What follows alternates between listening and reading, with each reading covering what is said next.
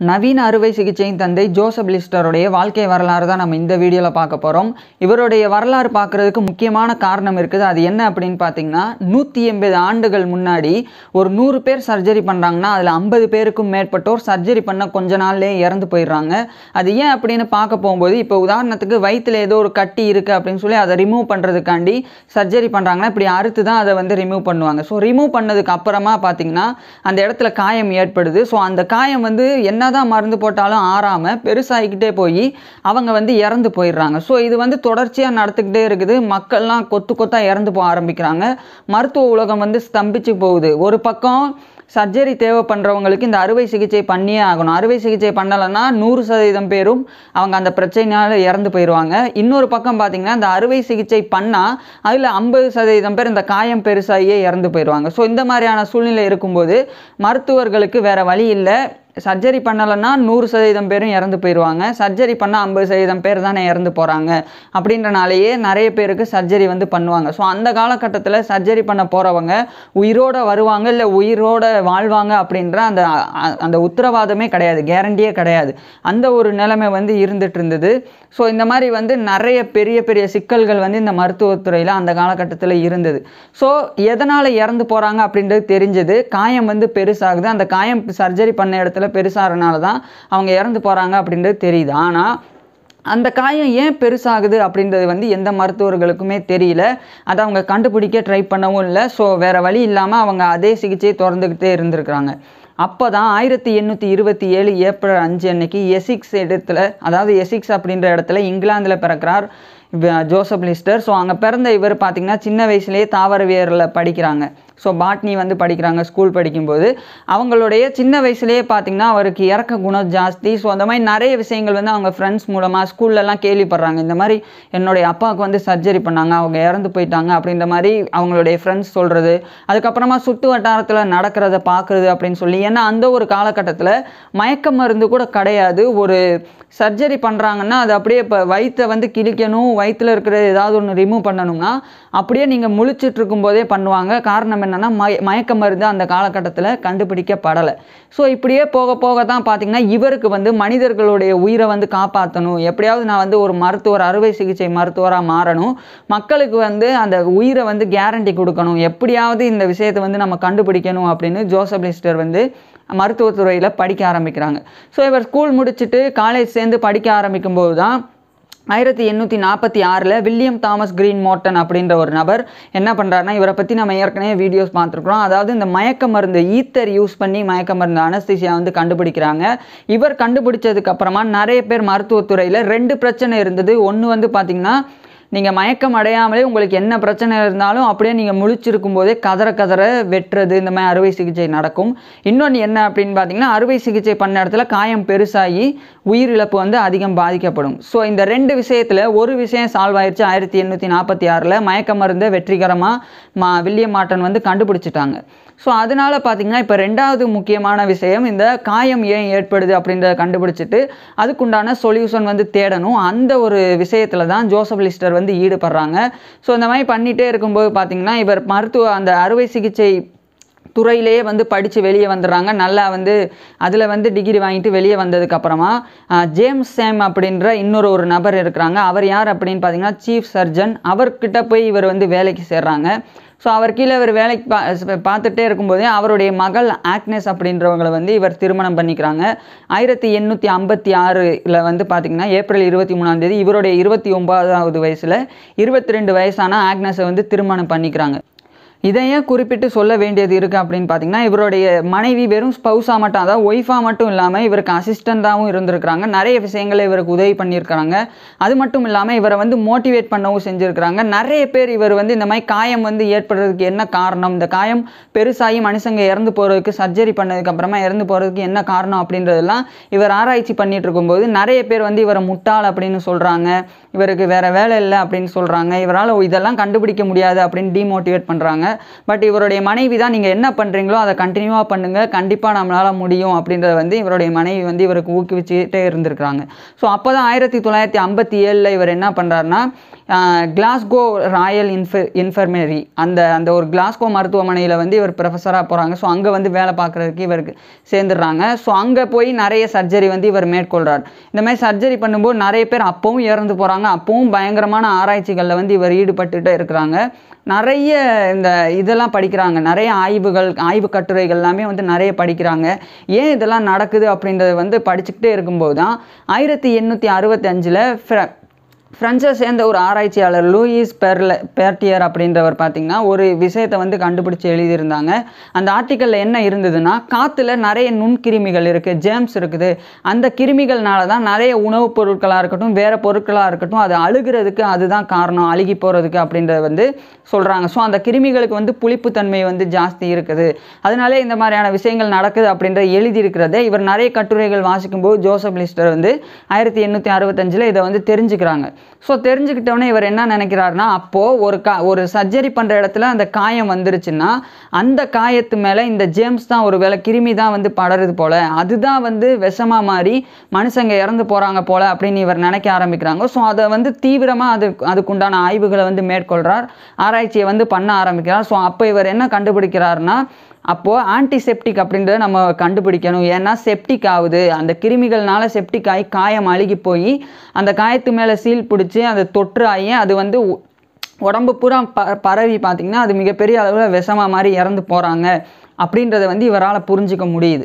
So இதனால இவர் என்ன பண்ணுறாருனா கார்போலிக் அப்படின்ற ஒரு ஆசிட்டை வந்து யூஸ் பண்ணுவோம். கிரியோசோட் அப்படின்ற அந்த ஆசிட் அதை வந்து நம்ம யூஸ் பண்ணோம் அப்படின்னா நம்மளால் வந்து இந்த கிருமிகளை வந்து கொல்ல முடியும். ஸோ ஆன்டிசெப்டிக் வந்து பண்ண முடியும் அப்படின்னு சொல்லி அங்கே வந்த ஒரு நோயாளி மேலே ஆயிரத்தி எண்ணூற்றி அறுபதுகள் காலகட்டத்தில் அதை வந்து பயன்படுத்தி பார்க்குறாங்க.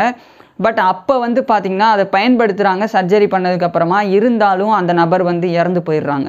அப்போ வந்து பயங்கரமாக மனம் தளறி போயிடுறாரு. இவருக்கு வந்து அந்த இறக்க குணம் ஜாஸ்தி இருக்கிறனால ஒவ்வொரு நோயாளி சர்ஜரி பண்ணதுக்கப்புறம் இறந்து போகிறாங்கன்னா அதுக்கு முழுக்க முழுக்க மருத்துவர்கள் தான் காரணம். அது நம்ம முழு பொறுப்பு ஏற்கணும் அப்படின்னு சொல்லி பயங்கரமாக கஷ்டப்பட்டுருக்குறாங்க. டிப்ரெஷனுக்குள்ளே போயிருக்கிறாங்க. இதுக்கு மேலே என்ன பண்ணுறது அப்படின்றது தெரியலையே. நான் வந்து செப்டிக் ஆகிறதுக்கு தான் செப்டிக் ஆகி தான் அது விஷம் உல உடம்பு பூரா பரவி இறக்குறாங்க அப்படின்னு நினச்சேன். பட் அந்த மாதிரி இல்லை போலையே அப்படின்ற மாதிரி பயங்கரமாக வருத்தப்படுறாங்க. அப்போ தான் இவருடைய மனைவி ஆக்னஸ் என்ன சொல்கிறாங்கன்னா நீங்கள் எந்த முறையில் அவர் மேலே அந்த கார்போலிக் ஆசிட் வந்து யூஸ் பண்ணீங்க? அப்படின்ற கேட்குறாங்க அப்போ அவர் என்ன சொல்கிறாருன்னா காயம் ஏற்பட்டிருக்கு. அந்த இடத்துல சர்ஜரி பண்ணியாச்சு. அந்த சர்ஜரி மேலே வந்து இந்த கார்போலிக் ஆசிட் வந்து நான் தூவினேன் அப்படின்றத வந்து இவர் சொல்கிறாரு ஸோ அங்கே வந்து யூஸ் பண்ணேன் அப்படின்னு. ஸோ இது வந்து கார்போலிக் ஆசிட் வந்து கண்டினியூவாக இருக்காது. அவங்க ஒருவேளை குளிக்கிறாங்கன்னாலோ இல்லை தண்ணி படுதுன்னாலோ வேறு ஏதாவது ஒன்று படுதுனாலோ அந்த கார்போலிக் ஆசிட் அங்கேருந்து போயிடும் ஸோ நீங்கள் இன்னொரு தடவை பண்ணும்போது வேறு முறையில் பண்ணி பாருங்க அப்படின்ற மாதிரி இவருடைய மனைவி இவரை மோட்டிவேட் பண்ணுறாங்க அப்போ தான் ஒரு பன்னெண்டு வயசு ஒரு சின்ன பையன் வந்து வரான். அந்த பையனுக்கு வந்து காலில் வந்து காயம் இருக்குது. அந்த பையன் என்ன சொல்கிறான்னா எனக்கு வந்து அப்பா கிடையாது அம்மா மட்டும்தான் இருக்கிறாங்க. அம்மாவுக்கும் உடல்நிலை சரியில்லை. அது மட்டும் இல்லாமல் என்னுடைய தம்பி தங்கச்சிகளும் நான் தான் பார்த்துக்கணும். நான் வேலைக்கு போனால் மட்டும்தான் இதெல்லாம் சாத்தியம். ஸோ என்னை எப்படியாவது காப்பாற்றிருங்க அப்படின்னு சொல்லி ஜோசப் லிஸ்டர்கிட்ட கெஞ்சுறாங்க. ஆல்ரெடி இவருக்கு வந்து இறக்க குணம் ஜாஸ்தி. ஸோ எப்படியாவது இந்த பையனை சர்ஜரிக்கு அப்புறமா காப்பாற்றிடணும் அப்படின்னு நினைக்கிறாங்க. அப்போ தான் அந்த பையனுக்கு காலில் சர்ஜரி பண்ணதுக்கப்புறமா இதை வேற ஒரு முறையில் பண்ணுவோம் அப்படின்னு அந்த கார்போலிக் ஆசிட்டை வந்து கட்டு போடும்போது அந்த துணியில் வந்து நினச்சி அதை வந்து கட்டாக போடுறாங்க. ஸோ அந்த காயத்து மேலேயே அந்த கார்போலிக் ஆசிட் வந்து எனி டைம் வந்து பட்டுக்கிட்டே இருக்கும். அந்த மாதிரி பண்ணுறாங்க பண்ணதுக்கப்புறமா ஒரு அஞ்சு நாள் கழித்து அந்த பையனை வந்து அந்த பையன் காலில் இருக்கக்கூடிய கட்டை அவுத்து பார்க்கும்போது காயம் பெருசாகாமல் அப்படியே ஒரே இடத்துல வை- காயம் நல்லா ஆறி போகிறத வந்து இவரால் பார்க்க முடிஞ்சுது.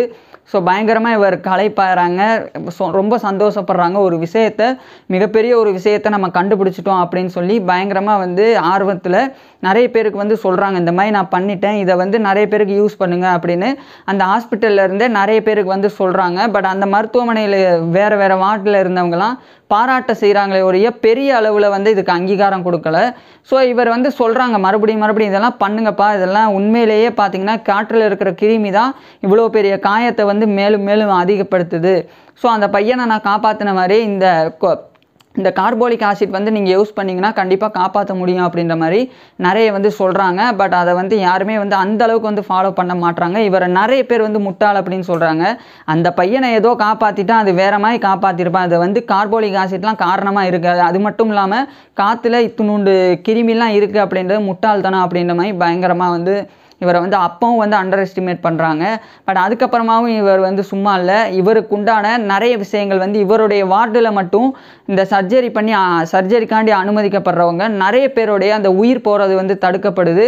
நிறைய பேர் வந்து பொதுமக்களாக இருக்கட்டும் வேறு வேறவங்க வந்து இவரை வந்து முட்டாள் அப்படின்னு சொன்னால் கூட வேறு வேறு மருத்துவர்கள் வந்து இவரை கண்டுக்கலன்னா கூட இவர்னால் அந்த சர்ஜரி பண்ணப்பட்டு குணமாகி போனவங்க வந்து எல்லாமே வந்து இவரை வந்து தெய்வமாக பார்க்குறாங்க ஸோ சர்ஜரி பண்ணால் என்னோடய உயிர் போயிடும் அப்படின்னு நினச்சேன். பட் என்னை காப்பாற்றிருக்கீங்க நான் வந்து உயிரோடு இருக்கிறேன்னா நீங்கள் தான் காரணம் அப்படின்னு பயங்கரமாக வந்து இவரை பாராட்ட தான் செஞ்சுருக்கிறாங்க. ஸோ அவருடைய பேஷண்ட்ஸ் எல்லாமே.